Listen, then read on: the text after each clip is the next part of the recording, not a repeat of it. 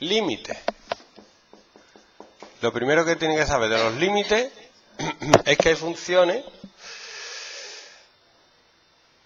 mm, que crecen más rápido que otras. ¿Vale? Tenemos la función x, una polinómica, tenemos la función x cuadrado,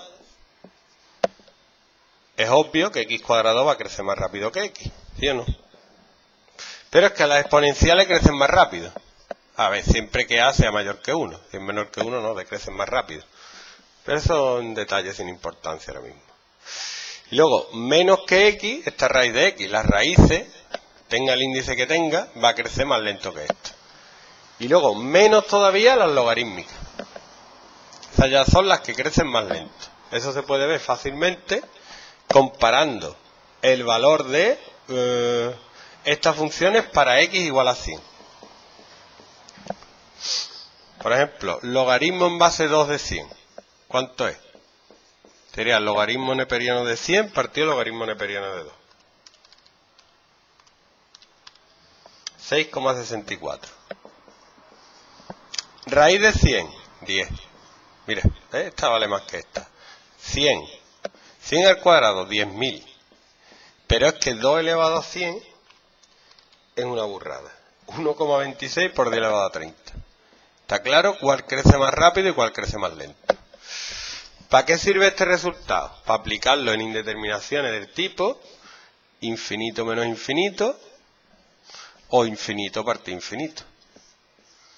Pues si yo te pongo, por ejemplo, 2 elevado a x menos x cuadrado, el límite cuando x tiende a más infinito de esto esto crece más rápido que esto. Este infinito es de mayor grado que este, por eso tiende a infinito. ¿Vale? Y si lo pongo al revés,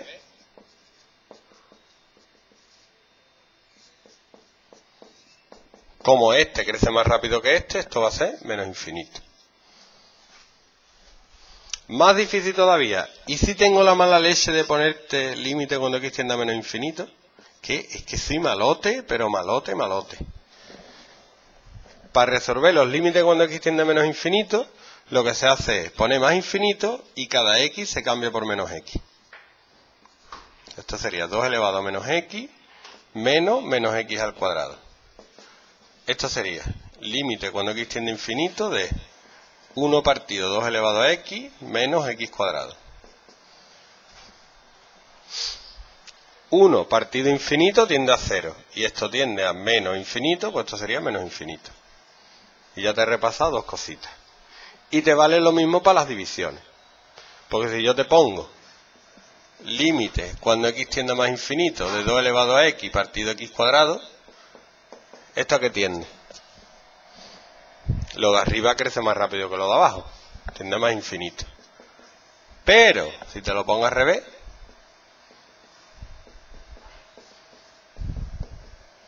lo de abajo crece más rápido que lo de arriba. Va a tender a cero. ¿Vale?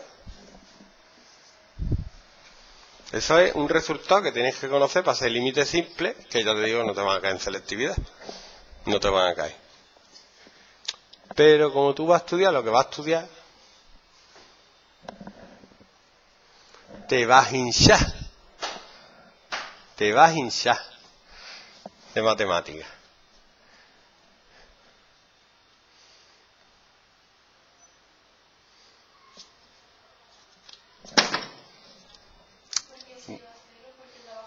El de abajo crece más rápido que el de arriba. Prueba. Yo, yo cuando lo veo, pruebo. Digamos, ve. 10 al cuadrado es 100. Y 2 elevado a 10 ¿eh? Es que pasa que tenéis miedo. 1024. Y yo estoy en 0,1. Tiendo a 0. No hay miedo de saber. Si no sé, pruebo a ver cómo es esto. Si fuera menos. Si fuera menos, más divertido. Porque si fuera menos, te queda x cuadrado partido 2 elevado a x. Como yo digo, hago el límite cuando x tienda más infinito de menos x todo al cuadrado partido 2 elevado a menos x. Que espero es que 2 elevado a menos x lo puedo poner arriba como 2 elevado a x.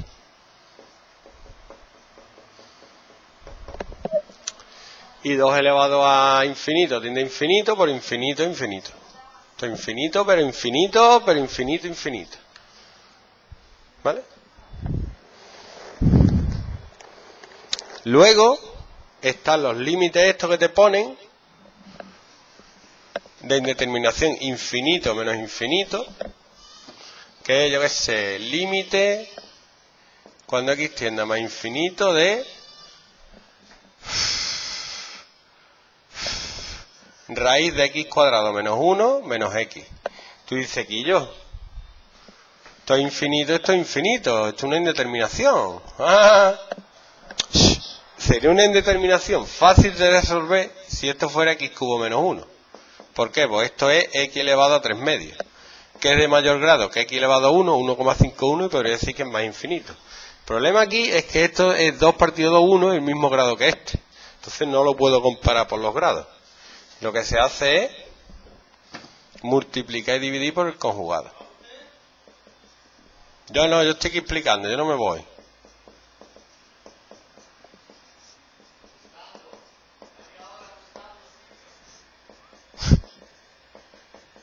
Capici. Capici. ¿Te suena, no? Te digo que esto no te va a cansar la actividad. A ver, si estamos perdiendo el tiempo. Uy, que va. Que va, que va.